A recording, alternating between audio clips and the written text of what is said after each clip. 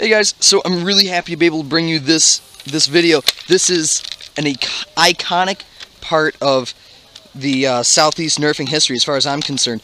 This is the crazy, whoa, crazy freaking chicken bow, as I like to call it. It is just outrageous. Did that shoot? Yeah. So, this is a big bad bow. Gets ridiculous ranges. And then there's a 2K in here on a uh, pull ring.